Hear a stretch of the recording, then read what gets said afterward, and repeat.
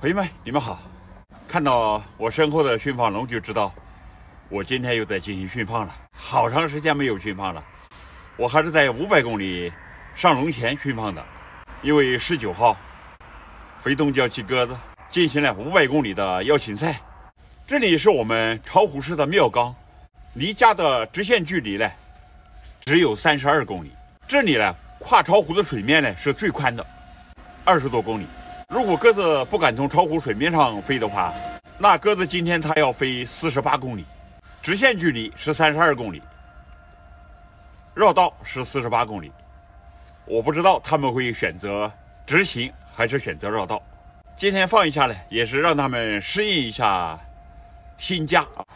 不知道他们会不会走来个进口进去。今天天气非常晴好啊，看到那个东边啊，已经亮起来了，太阳一会就要出来了。稍作休息，就开始放它们。好的，太阳已经露头了，现在我就来开笼。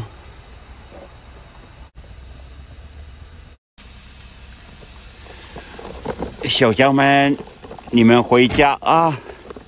天冷，飞快一点，记得回家从新进口进去啊！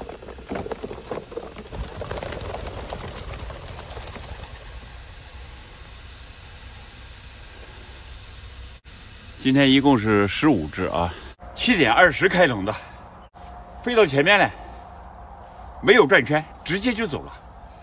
看看他们今天到家花了多长的时间。也就可以知道，他们是不是从巢湖水面上飞过去的，因为直线是三十二，绕道是四十八公里，中间相差十六公里，从他们归巢的时间上就可以看得出来。赶紧回家，好冷！哇，今天真的很冷。停车在这里吃早饭，我来看一下鸽子是什么时候到家的。没想到就闹了一个乌龙。早晨那个监控不知道怎么没有拍到，这个监控怎么倒下去了，也就没有办法知道鸽子是什么时间回来的了。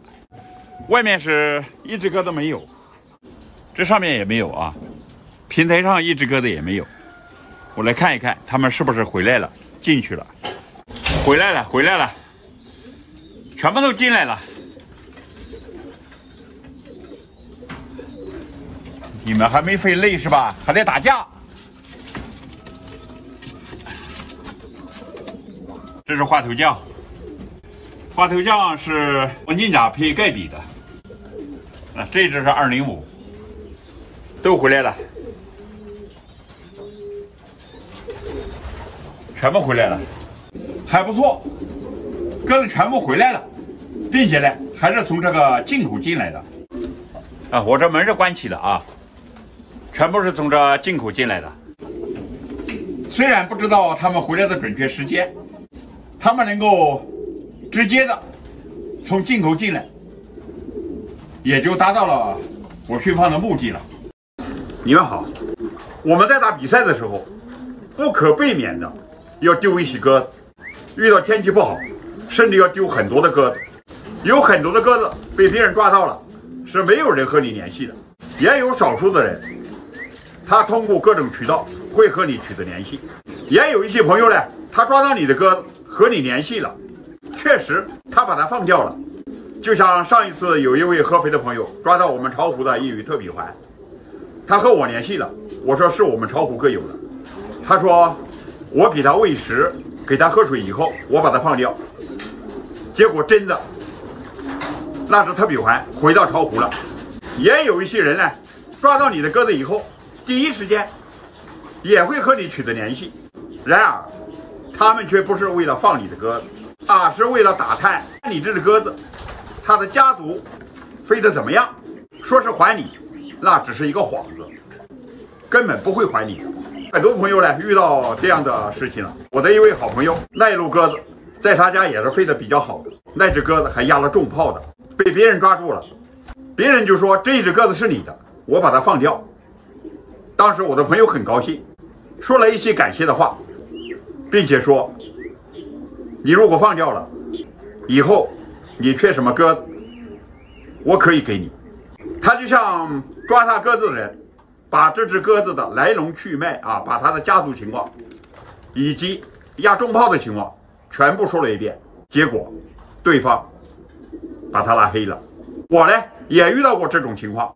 我以前就说过，我与鸽子在龙江被抓了，当天晚上他就和我联系了。